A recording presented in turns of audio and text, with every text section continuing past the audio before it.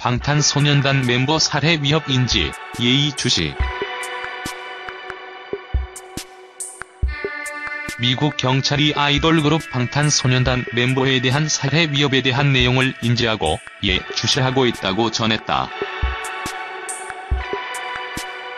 13일 미국 NBC 보도에 따르면 미국 LA 경찰은 입장을 밝히며 방탄소년단의 한 멤버 향한 살해 위협과 관련해 예의주시하고 있다고 밝혔다.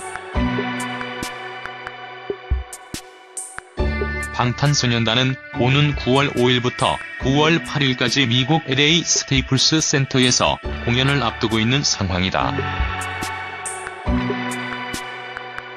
LA 경찰은 이 문제에 대해 인지를 하고 있다고 밝히면서도 자세한 내용에 대해서는 언급하지 않았다.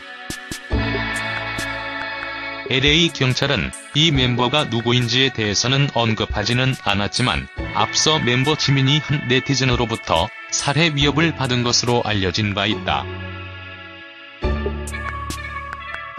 이에 따라 향후 경찰 수사 경과에도 더욱 시선을 모을 것으로 보인다.